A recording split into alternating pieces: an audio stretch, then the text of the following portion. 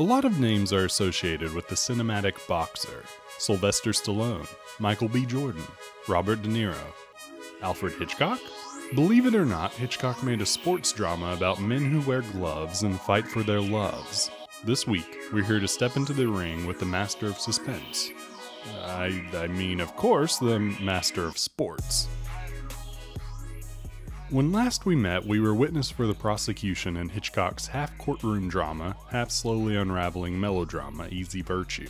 For his follow up, Hitch switches it up with something that's got comedy, drama, romance, and surprisingly, great action scenes. But before we begin, let it be known that the Sarris wheel is a slowly moving satellite traveling through space in a wacky, wildly bouncy fashion. But each bounce is carefully calculated because we're going through Hitch's filmography one by one, and to get the most out of your carnival ticket, I'd advise viewing each film before watching its corresponding video. The feature of the hour is 1927's The Ring, written by Alfred Hitchcock with some uncredited help from Eliot Stannard. It stars Carl Brisson as One Round Jack, a scrappy carnival boxer head over heels for the carnival's ticket taker. Lillian Hall Davis is Mabel, the carnival's ticket taker, who's head over heels for the carnival's star boxer, until a better option rears his handsome head. Ian Hunter is Bob, the better option who's also a professional pugilist. And Gordon Harker is Jack's trainer, the undeniable comic relief of the film. At the outset of the movie, Hitchcock lets us know we're going to have some fun. The story begins at an outdoor carnival, and Hitch has some whimsical camera setups showing a raucous and wild atmosphere. Everyone is enjoying themselves, including our main character, who spies a beautiful ticket taker across the way and falls in love at first sight, which Hitchcock emphasizes by superimposing Mabel's face over the crowd.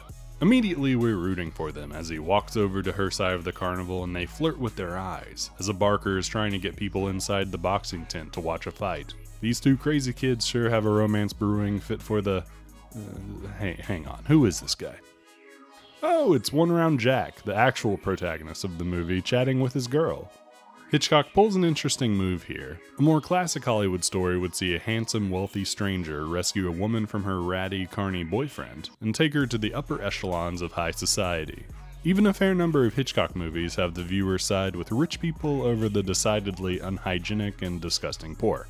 But part of the reason The Ring stands out among Hitch's silent work is that we're meant to sympathize with Jack, who's admittedly barely scraping by, but he's kind and has Mabel by his side, until Bob, the villain of the piece, picks Mabel out of a crowd to be his own.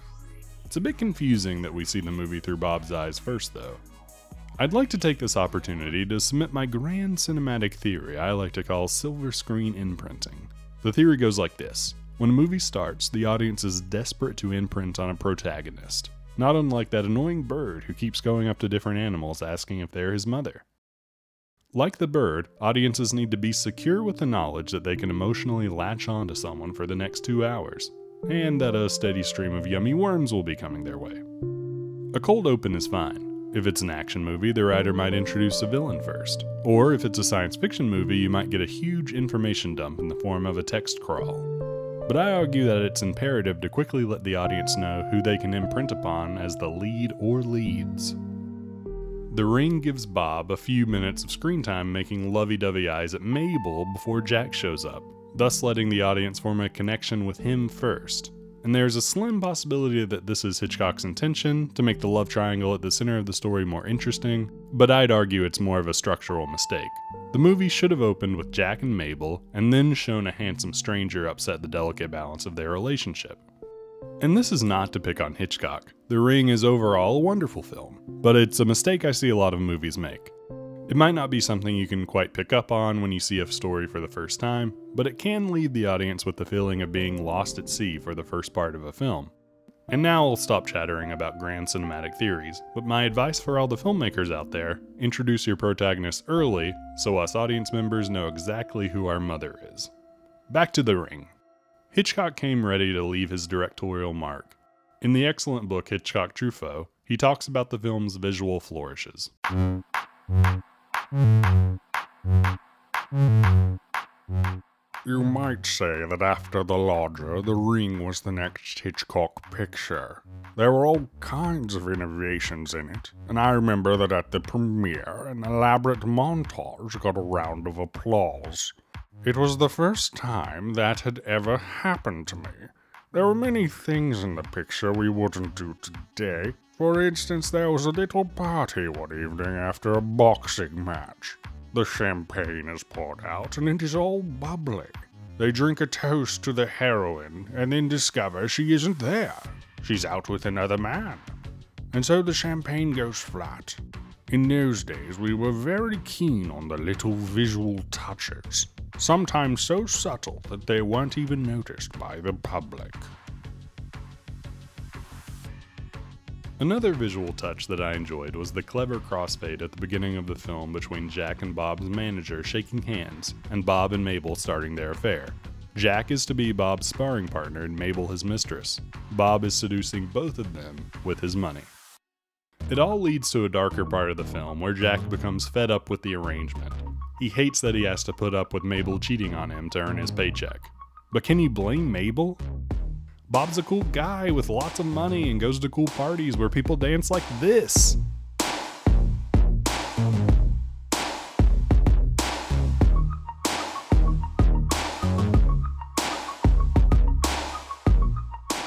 Love the idea of cooling off the dancers like they're prize fighters in their corner after a round of fighting.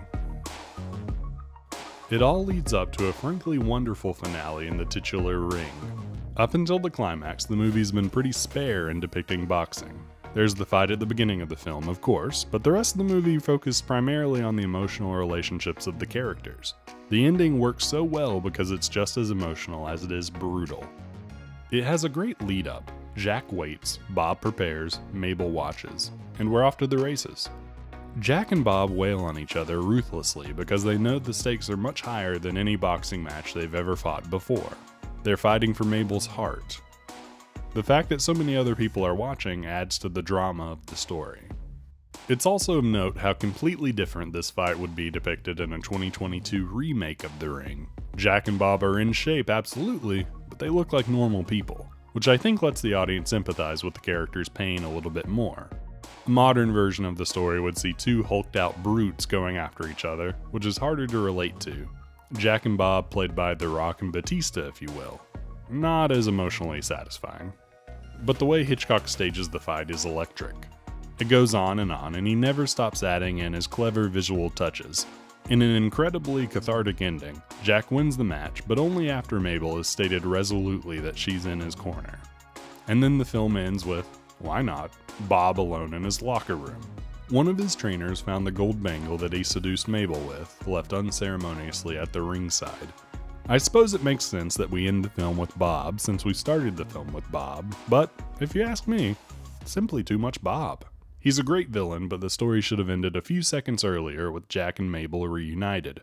Overall, though, high marks for Hitchcock's trip to the ring. On the next revolution of the Sarris wheel, we'll be discussing bucolic brides, so hop on your tractor and load up some feed, because we're going to meet the farmer's wife. And if you'd like more videos about directors both living and deceased, hit that subscribe button to stay up to date on this channel. Until next time, the Sarris wheel spins on.